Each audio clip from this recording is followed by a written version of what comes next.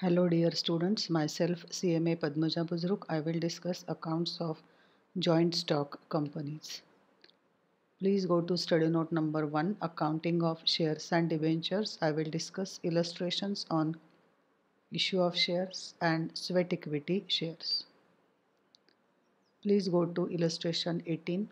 MG Limited was registered on 1st Jan 2017 with an authorized capital of rupees 3 lakhs divided into 30,000 equity shares of rupees 10 each. During the next 12 months to 31st November 17, following events occurred which related to the share capital of company. On 1st Jan 17, the company offered for subscription 10,000 equity shares at a price of rupees 19 each to be paid as follows at the date of issue including premium rupees 10 that is on application rupees 10 on allotment rupees 4 and on first and final call rupees 5 registered authorized or nominal capital is 30000 out of that 10000 shares are offered for public subscription. So all your journal entries to be taking taking into consideration 10000 number of equity shares. Face value is rupees 10 and issue price is 19 so 19 minus 10, 9 rupees is securities premium. Application money is rupees 10 which includes premium. So breakup of application money is 1 plus 9. 1 would go to capital and 9 would go to securities premium account. On 30th June 17, the company made right issue on 1 for 2 basis at rupees 22.50 per share payable in full on 10th July 17.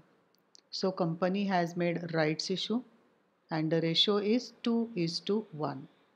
Only 80% of issue was subscribed for by the shareholders with a payment being made on the due date.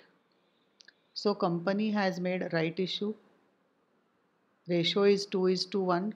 10,000 shares are issued so 5000 right shares are offered and only 80% of the right issue was subscribed. So 80% of 5000, 4000 shares are subscribed. On 30th November 17, company decided to make a bonus issue of shares at par by utilizing entire balance of securities premium account. So company has decided to issue bonus shares and bonus shares are issued using the entire balance, complete balance, full balance which is in the credit of securities premium account. Prepare equity share capital account and securities premium account of the company for the year ended 31st December 17. A shareholder who had subscribed initially for 140 shares had subsequently taken up 80% of right issue and then received bonus shares to which he was entitled. Calculate ultimate number of shares owned by him and total price paid by him for those shares. So in this question they have asked you to prepare ledger accounts, share capital account and securities premium account. It is better to pass journal entries before preparation of ledger accounts so it will be easy for you to understand. And then one person who had subscribed for 140 shares he has taken up right issue. 80% which was offered to him he has taken up and then he has received bonus shares. So you have been asked to calculate total number of shares he is having and what is the price paid by him for these shares. On 1117, 10,000 shares are issued at 19, 9 rupees is premium. On application, 10 rupees, 1 plus 9, allotment 4, first and final call 5, 1 plus 4 plus 5, 10 rupees would go to capital and 9 is securities premium. 10,000 shares are issued, 10,000 into 10, 1 lakh would go to share capital and 10,000 into 9, 90,000 would go to securities premium account. Now first we'll see these journal entries for issue of shares. Bank account debit to equity share application account. 10,000 shares are issued at 10. So it is 1 lakh. Equity share application account debit 1 lakh to equity share capital 10,000 to securities premium 90,000. Just now we have seen 1 plus 9, 1 would go to capital, 9 would go to securities premium. 10,000 into 1 and 10,000 into 9. Next is allotment money due. Equity share allotment account debit to equity share capital 40,000, 10,000 into 4. Bank account debit to equity share allotment 40,000. Equity share first and final call due equity share first and final call account debit to equity share capital 10000 into 5 and bank to equity share first and final call. They have asked you to prepare ledger accounts equity share capital account and securities premium account. So in equity share capital account you will have on the credit side by equity share application 10000 then by equity share allotment 40,000 and by equity share first and final call 50,000. 10,000 to the credit of share capital account, 40,000 and 50,000 to the credit of share capital account. And on securities premium account credit side by equity share application 90,000. Then they have issued right share on 30 June 13 in the ratio 2 is to 1. So for 10,000 shares, 5,000 right shares are offered, but actually 80% were subscribed. So 80% of 5,000, 4,000 right shares are subscribed at 22 rupees 50 paisa. Face value of equity share is 10. So 4,000 into 10, 40,000 would go to share capital and 4000 into 12.50 would go to securities premium account. So total amount in securities premium is 90,000 plus 50,000 1 lakh 40,000. 10,000 shares are issued at rupees 9 premium so 90,000 and these 50,000 total 1 lakh 40,000 is in securities premium account. Bonus shares are issued using entire securities premium account. 1 lakh 40,000 is used for issuing bonus shares. Face value of each share is rupees 10 so 14,000 bonus shares at rupees 10 are issued. Now this is the entry for right shares. Bank account debit to equity share capital to securities premium 4000 right shares are issued at 22 rupees 50 paisa per share. Bank account debit 4000 into 22.50 to equity share capital account 4000 into 10 to securities premium account 4000 into 12 rupees 50 paisa. Now equity share capital account credit side by bank 40,000 and securities premium account credit side by bank 50,000. Now this entry is for issue of bonus shares. They have used entire securities premium account for bonus shares. Securities premium debit 1,40,000 to bonus to shareholders 1,40,000. Bonus to shareholders account debit 1,40,000 to equity share capital account 1 lakh 40,000. Bonus shares are issued using entire amount in securities premium account which is 1 lakh 40,000. So 14,000 bonus shares are issued at rupees 10. Originally company has issued 10,000 shares. Then 4,000 right shares are issued.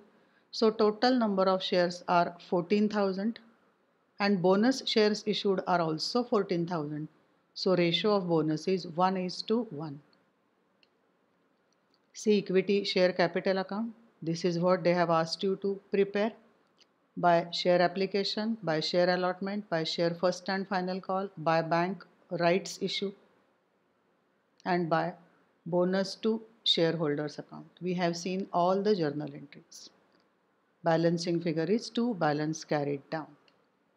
Securities premium account, by share application, by bank, entire balance is used for issuing bonus to bonus to shareholders. Now one more question was asked. One shareholder initially he was having 140 shares.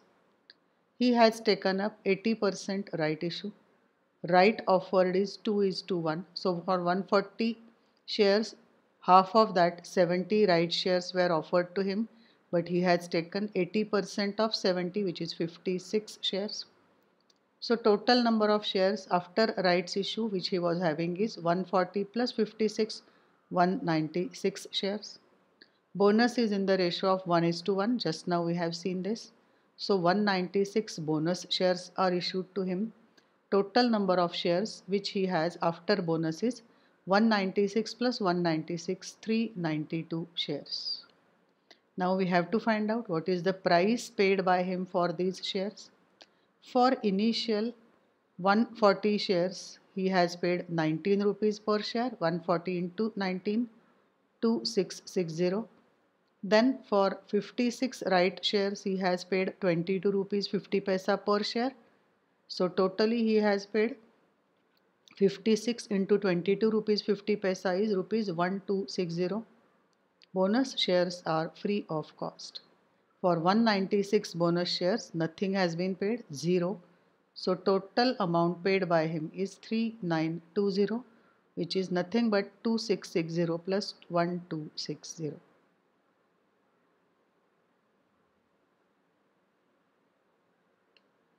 Now we'll see issue of sweat equity shares. Sweat equity shares means shares issued to directors or to employees. These shares can be issued at discount. These can be issued for non-cash consideration for providing technical knowledge. Actually, as per section 53 of Companies Act 2013, company cannot issue shares at discount, but sweat equity shares can be issued at discount. Now we'll go through section 54. A company may issue sweat equity shares of a class of shares already issued if following conditions are fulfilled. So for the purpose of issuing sweat equity shares, it is necessary that sweat equity shares are those class of shares which already company has issued. Condition first is issue is authorized by special resolution passed by the company. Second condition, the resolution specifies the number of shares, the current market price, consideration if any, and the class or classes of directors or employees to whom such equity shares are to be issued. Third condition, not less than one year has at the date of such issue elapsed since the date on which the company had commenced the business. So in short, I will let you know these three conditions. First condition is special resolution is required to be passed for issue of sweat equity shares. Second condition is this resolution contains number of sweat equity shares issued, consideration for these shares, current market price of these shares and to whom these shares are offered. And third condition specifies such shares are to be issued only one year after commencement of the business. And most important thing is these shares, sweat equity shares, are of a class of shares which company has already issued. Now fourth condition as per section 54 where the sweat equity shares of company are listed on a recognized stock exchange the sweat equity shares are issued in accordance with the regulations made by Securities and Exchange Board in this behalf. And if they are not so listed the sweat equity shares are issued in accordance with such rules as may be prescribed. So in short what is given here? In case of listed companies sweat equity shares are to be issued as per SEBI regulations. And for non-listed companies they are to be issued in accordance with the rules made by the company. The rights, limitations, restrictions and provisions are as are for time being applicable to equity share shares shall be applicable to sweat equity shares issued under this section and the holders of such shares shall rank pari passu with other equity shareholders. Pari passu means equal rights on equal footings. So what is given in the next paragraph is sweat equity shareholders have equal rights which other equity shareholders enjoy. Accounting treatment where sweat equity shares are issued for a non-cash consideration such non-cash consideration shall be treated in the following manner in the books of accounts of company. First, where the non-cash consideration takes the form of depreciable or amortizable asset, it shall be carried to the balance sheet of the company in accordance with relevant accounting standards. If sweat equity shares are issued for non-cash consideration, that means cash is not received, but from the employee or director to whom shares are issued, a depreciable or amortizable asset is received by company then in that case it is to be shown in balance sheet in accordance with relevant accounting standard. Accounting standard which is applicable to those asset depending upon whether it is tangible fixed asset or intangible asset. Where clause A is not applicable it shall be expensed as provided in relevant accounting standard now, if any tangible or intangible asset is not provided, then in that case, this is to be expensed off. If shares are issued and no consideration is received in the form of asset, then it is to be expensed off. We'll see one question. Tinku Limited allotted 500 sweat equity shares of 100 each to its directors at a discount of 6% face value is 100 discount is 6% that means discount amount is rupees 6 so amount received on each equity share is 100 minus 694 here per share company has received 94 rupees shares are issued at discount. Bank account debit 500 into 94 47000 discount on issue of shares account debit 500 into 6 3000 to equity share capital account 50000 500 into 100 allotment of 500 sweat equity shares of 100 each. To directors at a discount of 6% balance amount that is 94 per share is duly received. Second case 800 sweat equity shares of 100 allotted to employees at par in consideration of technical know-how. So that means nothing has been received from these employees. These shares are issued to employees because they have provided some technical knowledge. So it is this technical know-how account is to be debited and share capital account is to be credited and technical know-how is to be shown on the asset side of balance sheet. It is to be amortized over future years as decided by management. So we'll see journal entry technical know-how account debit 80,000 800 into 100 to equity share capital account 80,000 being allotment of 800 sweat equity shares of 100 each to employees at par in consideration of technical know-how. In this particular video, I have discussed one illustration on issue of bonus shares, sweat equity shares and two examples on sweat equity shares. Thank you.